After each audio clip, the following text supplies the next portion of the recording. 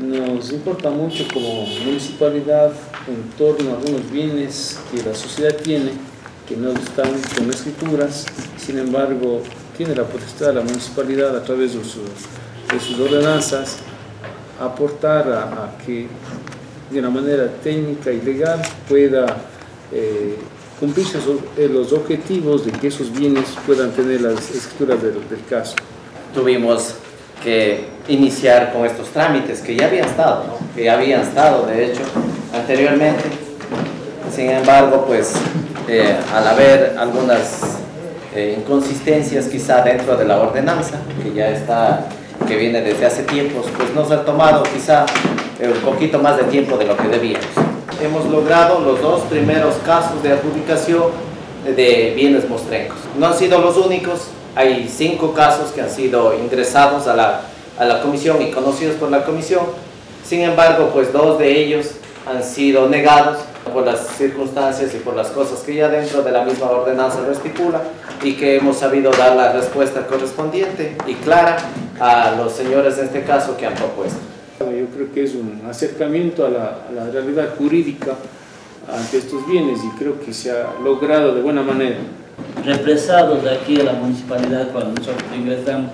realmente hemos hecho todos los esfuerzos para que esto se dé solución inmediatamente. Como explicó el señor concejal, hay una ordenanza en vigencia que se ha llevado a cabo, pero también hay que esa ordenanza este, actualizarle al nuevo COTAD, entonces eso también está planteado ya. Las disculpas del caso porque ha sido eh, bastante demorado el, el, trámite, me parece que eh, los abogados presentes pues van a entender de que por distintas circunstancias el, el, proceso es, es, es, lento y luego ya cuando nosotros dimos el visto bueno, creo que ya es más o menos unos dos meses, luego en cambio la parte financiera con el título de crédito,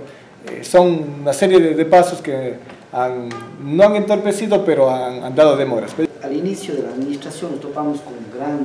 con gran iceberg se puede decir y estábamos yendo a chocar contra este año.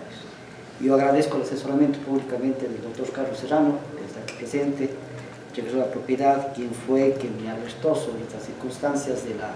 necesidad de la reforma a la, a, a la ordenanza de titularización de los bienes trencos. Por esa razón, eh, eh, luego de un análisis muy profundo de toda la documentación, se determinó que ya habían ingresado la documentación, la tramitación, habían cumplido con todos los procedimientos, con las etapas hasta el final. Por lo tanto, en esta instancia no sería dable negarles el trámite, sino más bien acogiendo los derechos constitucionales que tienen estas personas, se conformó una comisión especial de Gines Mostrencos quien analizó todo el procedimiento. Nos ha tocado tiempo, realmente se pide disculpas por las demoras, adjudicar a favor de Inés Rosario Luna Vázquez, Ángel Flores Milo, Norma Isabel, Lilia Targelia y Pedro Máximo Luna Vázquez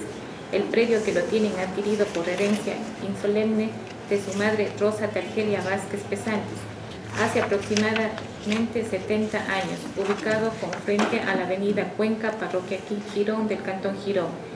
Adjudicar a favor de los cónyuges Milton Aníbal Álvarez Peralta y María Teresa Carchi el predio que lo tiene en posesión hace aproximadamente 12 años, ubicado en la intersección de las calles 3 de noviembre y Abdón Calderón de la parroquia Cantón Girón. Alguna vez le dije al doctor, al, al señor alcalde,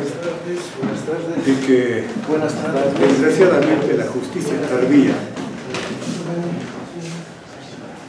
se volvía injusticia. Es decir, cuando las cosas no se hacen oportunamente, la justicia se dice que debe ser oportuna. Yo creo que hoy se culmina un precepto que opera en todo el mundo. Esto deberá cada quien lo que les corresponde.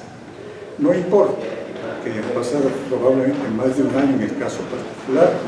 pero lo fundamental es que la justicia tarda pero llega.